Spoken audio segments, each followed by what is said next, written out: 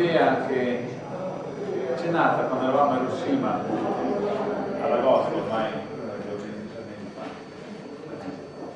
eh, per la campagna, per la riunione della campagna internazionale contro l'anno poverino. Eh, l'idea è quella che il potere dell'immagine a volte è molto più efficace delle parole, soprattutto a testimoniare quello che sta succedendo nelle zone di. È vero che è importante capire, approfondire, documentarsi, ma a volte per chi non, non sa bene cosa succede, vedere l'immagine di, di un, bambino o comunque di una persona civile che soffre può essere il, può essere il veicolo migliore per trasmettere un messaggio. Eh, abbiamo avuto l'opportunità di conoscere Naomi Toyota e Yoshi Shimizu eh, in Giappone che avevano girato un video documentario in Iraq e, e l'abbiamo apprezzato soprattutto per la, la grandissima, il grandissimo valore quanti giornalisti vanno lì a fare questo? Quasi tutti i giornalisti occidentali sono in realtà chiusi dentro le mura sicure della zona di competenza statunitense e non si azzardano ad uscire fuori a andare a vedere cosa succede nel territorio. Eh, I veri giornalisti sono personaggi come Toyota Shimizu che prendono, vanno a loro rischio e pericolo in giro per l'Iraq, per il Libano e raccolgono documentazione su quello che succede. Sono le nostre uniche fonti di informazione. Per questo è stata un'iniziativa eh, sotto un aspetto difficile da organizzare anche economicamente, riuscire a fare venire qua, ma che reputo straordinaria, soprattutto perché eh, viviamo sempre di più la difficoltà di reperire eh, informazioni e documentazione da, dalle zone di guerra. Ehm, sia Naomi Toyoda che Hitoshi hanno una lunga esperienza in questo ambito, hanno girato eh, documentari, un documentario particolare che è questo che trovate qui eh, oggi disponibile ehm,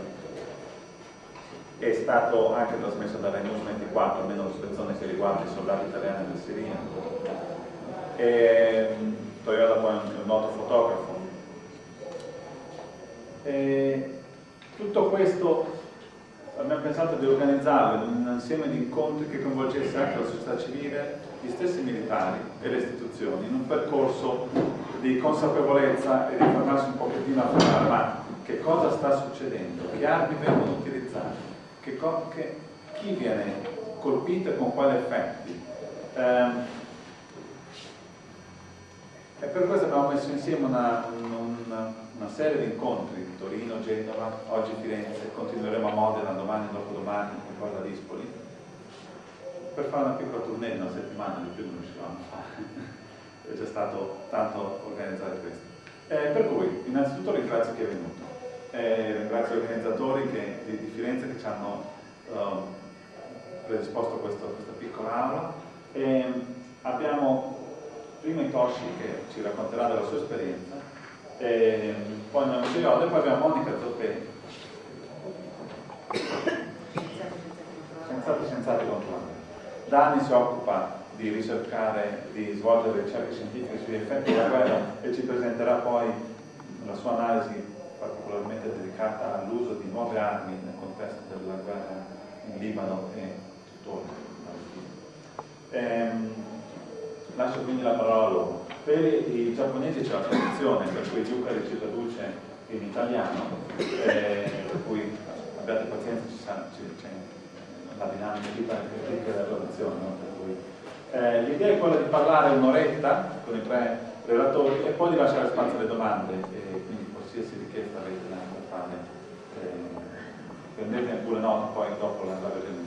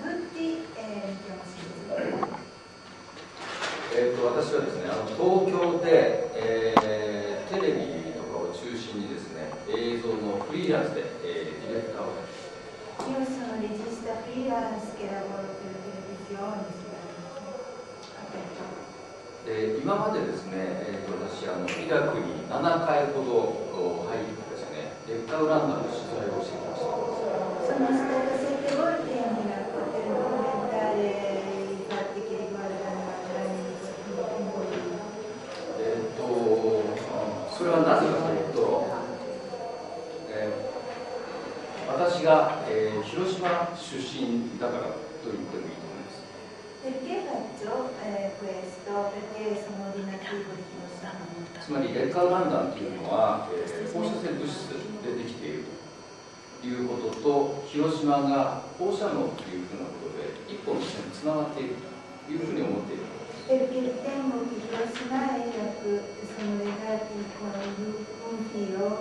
si chiama la radioattività, eh, che è uranio impoverito e radioattivo, quello che è stato usato in Iraq e poi Hiroshima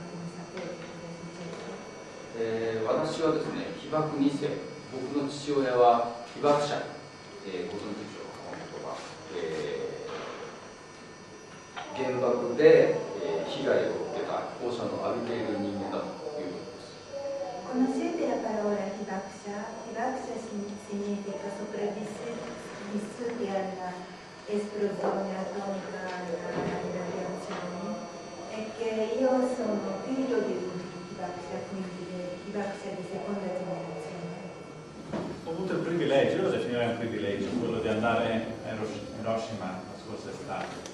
Privilegio perché non è facile, eh, economicamente per tanti motivi. E avevo scritto da lì un editoriale per Disney, dicevo che credo sia un pellegrinaggio che qualsiasi persona che sia contro la guerra dovrebbe fare una volta nella vita. E io credevo di essere informato. Tutto sommato mi occupo di queste cose da anni, eh, ho letto, ho studiato, ma la verità e lo stare sul posto eh, è inim- inimmaginabilmente più, più potente, se- al di là dell'aspetto informativo, di scoprire, ma anche sotto l'aspetto emozionale, di stare in un posto e condividere insieme a decine di migliaia di persone eh, la, la follia di quanto è successo eh, a Hiroshima e Nagasaki. Alcune cose mi hanno colpito, ve, ve le elenco velocemente prima la parola a Toyoda. Ehm, una cosa mi ha colpito il parallelo, stiamo parlando di una situazione che di, di 60 anni fa, in realtà alcune dinamiche sono le stesse dinamiche che succedono oggi, così come allora gli Stati Uniti hanno negato qualsiasi informazione, hanno nascosto eh, che tipo di arma era stata usata, che tipo di effetti c'erano sulla salute e quando hanno raccolto queste informazioni non le hanno condivise con la comunità scientifica e con i medici per fare in modo che potessero aiutare eh, i civili che continuavano a morire. Le stesse cose stanno succedendo oggi, con le armi che vengono utilizzate in, eh, in Iraq e in Medio Oriente e in altri posti. Eh, ok, non sono tecnicamente armi atomiche, ma gli effetti sulla popolazione civile sono simili. Eh, sono armi che comunque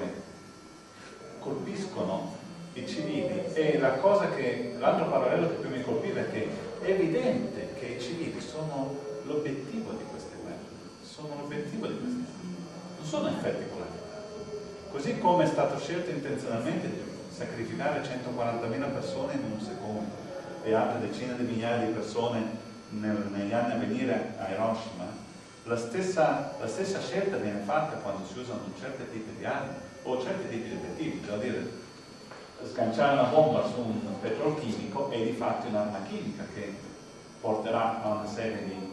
di effetti sulla popolazione e queste scelte vengono tuttora fatte.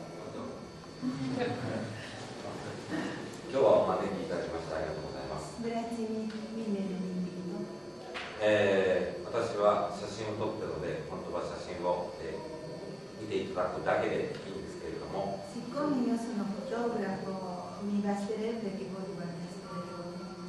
えー、でも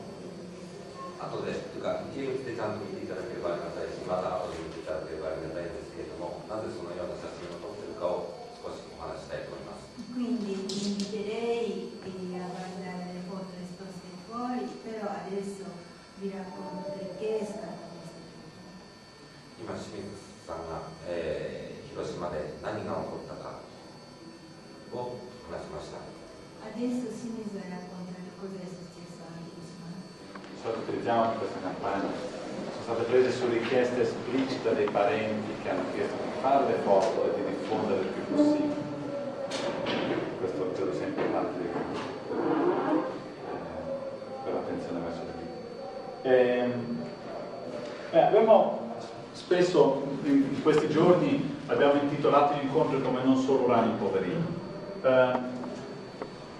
per vari motivi. Eh,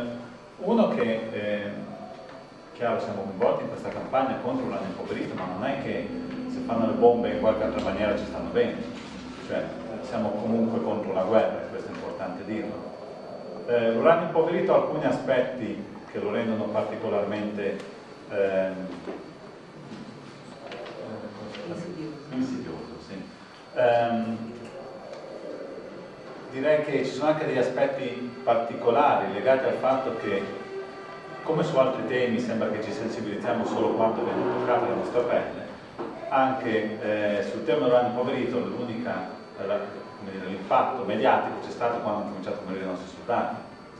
Eh, I nostri soldati, eh, di cui finora sono morti circa 40, e circa 300 sono malati ehm, con tumori di vario tipo, eh, hanno sviluppato queste patologie dopo pochi mesi di permanenza in questo posto. Pochi mesi, essendo inoltre soldati, parliamo quindi di giovani tra i 20 e i 30 anni, con una certa eh, prestanza fisica, no? se uno fa il soldato, di solito più, più, eh, più minghellini vengono scartati. Ehm, soldati che sono stati pochi mesi, e fra l'altro in passato assolutamente non informati, ma anche adesso informati su, cosa fare, più o meno con qualche, con qualche precauzione e ciò nonostante si ammalano. Eh, viene sempre negato loro l'informazione su- sul rischio che stanno correndo. In questo video trovate una intervista eh, proprio simbolica con eh, Toyota che va a misurare il contatore Geiger, la, radioattività. Poi va dal caporale italiano e chiede ma voi volete? No, ma volete, volete qui non ce n'è. Ci hanno detto che non ce n'è, bisogna stare tranquilli. Ehm, ci siamo ritrovati in una situazione paradossale di essere noi pacifisti e la radioattività. Ehm, paradossale, beh, chiaramente lo facciamo e siamo più che motivati a farlo, sono esseri umani che condividono una delle difficoltà, eh, stiamo parlando prevalentemente di ragazzi disoccupati che non avevano una alternativa, sono andati a fare il militare sono andati in missione all'estero perché questo era il modo migliore per avere qualche lira e pagarsi il mutuo. E, e quindi sono persone che sosteniamo e sosterremo sempre, ma che vengono abbandonate al loro destino. Eh, tornando a- alle armi, ehm, quello che sta succedendo è che così come l'uranio impoverito potremmo definire una specie di Hiroshima di basso livello, ovvero un- un'arma che non è nucleare, che produce degli effetti però sulla popolazione di- che hanno un impatto gravissimo sulla- sull'ambiente e sul- anche dei danni genetici che poi si ripercuotono sulle generazioni successive, come avete visto nell'ultima foto. Eh, ci sono altri tipi di armi che eh, sembrano avere la stessa perversità di colpire i civili in maniera diretta e aberrante e anche in questo caso brancoliamo nel buio. Eh, anche questo è un altro motivo per cui c'è, un cambiamento di strategia, ovvero l'arma atomica è talmente palese che nessuno può negarla se, se viene lanciata, ma armi di questo tipo, prima che riusciamo noi a dimostrare cosa sta succedendo, passeranno anni e dall'altra parte non troviamo nessuna prova. Per questo è preziosissimo, fondamentale il lavoro che viene svolto da alcuni scienziati eh, in Italia che dedicano il loro tempo, sappiamo le difficoltà che hanno eh, già a svolgere il loro lavoro, figuriamoci anche a occuparsi di queste cose. Ehm, c'è un comitato che è nato nel 99, Scienziati Scienziati contro la guerra, che raccoglie una serie di docenti, ricercatori, eh, scienziati delle varie università italiane che si dedicano allo studio di, di, di, questi, di questi, aspetti. E in particolare è nato un gruppo di recente, che è il gruppo 9 anni, all'interno di questo comitato. Lascio Monica eh, raccontare eh, come è nato e che cosa hanno scoperto. Stiamo cercando State di cercando. scoprire. Io vi ringrazio, ringrazio Francesco Iucari e voi che avete partecipato e anche gli ospiti giapponesi perché penso che l'importanza dell'informazione sia enorme e purtroppo i nostri sistemi eh, nazionali lasciano molto a desiderare da questo punto di vista, mentre invece il fatto di sapere che cosa succede eh, aiuta molto a, a, a, formare una coscienza collettiva e a rinforzare una coscienza collettiva contro la guerra che pur se in Italia esiste non è eh, abbastanza forte da raggiungere i luoghi di, di decisione, però eh, questo è l'unico accenno alla politica italiana, io eh, sono qui per raccontarvi un po' quello che è successo da, da quest'estate, cioè da quando sono cominciate ad arrivare intorno a fine luglio le prime eh, relazioni e richieste da parte dei medici libanesi e palestinesi che eh, mandavano in internet appelli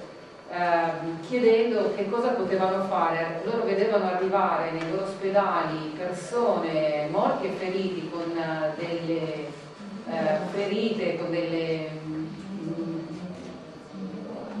lesioni eh, che non avevano mai visto prima, che non sapevano interpretare e non capivano che cosa potessero fare a, a questi pazienti. Vabbè, i morti eh, c'era poco da fare, però anche i feriti non sapevano come trattarli e quindi hanno, hanno mandato eh, questa richiesta eh, perché li aiutassimo a capire che cosa, quali armi avessero prodotto appunto queste, queste ferite, che cosa potevano fare e, e come si potevano anche proteggere.